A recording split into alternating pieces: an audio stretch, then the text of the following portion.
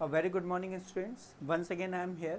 Now today we will discuss the last topic of chapter electrochemistry and which is Hardy-Schulze rule. Which is Hardy-Schulze rule. Uh, देखिए now firstly we will discuss about the coagulation तो याद करिए coagulation में क्या होता था coagulation में ये होता था कि हम किसी भी सॉल में इलेक्ट्रोलाइट मिलाते थे तो क्या होता था कि इलेक्ट्रोलाइट के जो अपोजिटली चार्ज आयन हैं, वो सॉल को न्यूट्रलाइज कर देते थे और उसको कोगुलेट कर देते थे। जैसे देखिए, हमारे पास एक इलेक्ट्रोलाइट है T I C L four titanium tetrachloride ठीक?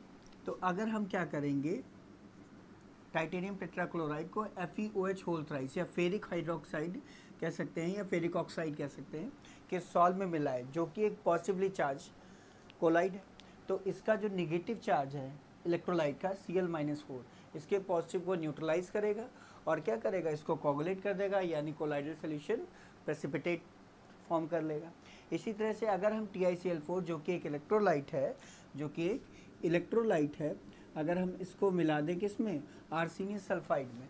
तो A S two S three के कोलाइडल सोल्यूशन में मिला दें, जो कि कैसा है? निगेटिवली चार्ज कोलाइड तो इसका पॉजिटिव चार्ज यानी टी आई फोर प्लस यानी पॉजिटिव चार्ज जो है, वो इसका जो पॉजिटिव चार्ज है, वो क्या करेगा? इसके निगेटिव चार्ज को न्यूट्रलाइज कर लेगा और सोल्यूशन कैसा होगा? कॉगलेट हो जाएगा।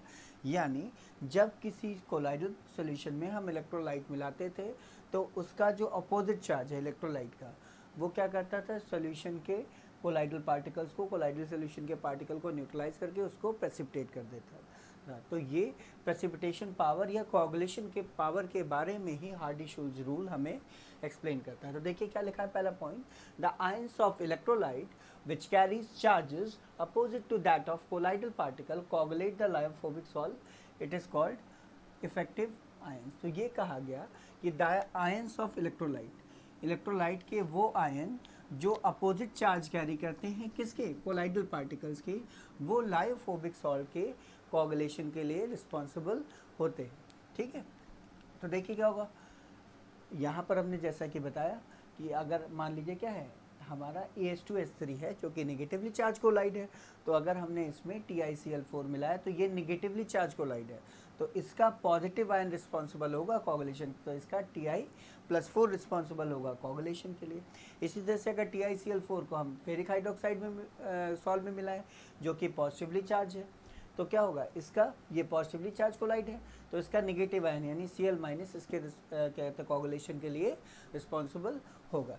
तो देखिए यहाँ पर दूसरा पॉइंट क्या है? Greater the valency of electrolyte greater will be its coagulating power तो मान लीजिए पॉजिटिव कोलाइट हमने लिया है और उसमें हम इलेक्ट्रोलाइट मिला रहे हैं। तो एक इलेक्ट्रोलाइट में पॉजिटिव कोलाइट को निगेटिव आयन क्या करेगा? कोगुलेट करेगा। या पॉजिटिव कोलाइट को निगेटिव आयन जो है वो न्यूट्रलाइज करेंगे और निगेटिव कोलाइट को पॉजिटिव आयन न्यूट्रलाइज करेंगे।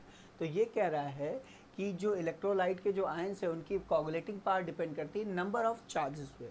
अगर क्लोरीन पर क्या एक माइनस चार्ज यहाँ पर यहाँ पर दो माइनस चार्ज है, यहाँ पर तीन माइनस चार्ज है और यहाँ पर चार माइनस चार्ज है। तो देखिए तो यानी जो पॉजिटिव कोलाइड है हमारा, जो पॉजिटिव कोलाइड है, वो निगेटिव कोलाइड से सॉरी क्या कहते हैं निगेटिव आयन से न्यूट्रलाइज होगा तो जिस पर चार्जेस की नंबर ज़्यादा है, उसकी कोगुलेटिंग पावर ज़्यादा होगी।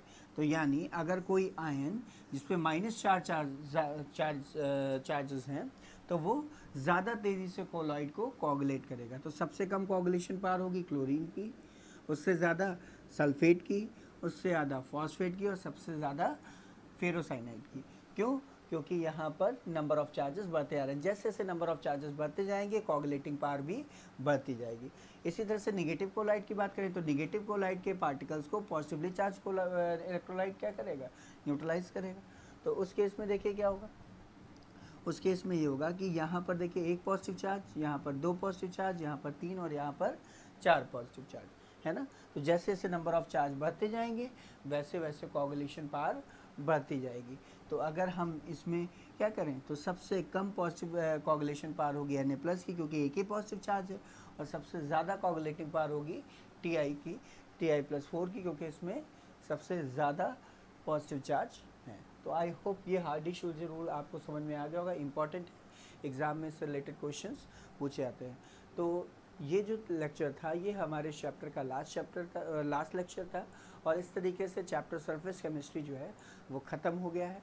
आपके जो भी क्वेरीज़ हैं, वो आप क्या कहते हैं व्हाट्सएप ग्रुप में या यूट्यूब के चैनल पर आप उसे पूछ सकते हैं और जल्दी हम इससे रिलेटेड एक टेस्ट पेपर लेंगे जिससे आपको अपनी प्रिपरेशन के बारे में प्रॉपर नॉलेज हो जाएगी। तो आई होप ये चैप्टर पूरी तरह से समझ में आ गया होगा। यूट्यूब में इसकी एक अलग से प्लेलिस्ट है। आप प्लेलिस्ट में जो रैंक वाइज आप वीडियोस को देखेंगे तो पूरा चैप्टर आपको थॉरली रिवाइज हो जाएगा। ठीक है? Thank you students that's it for today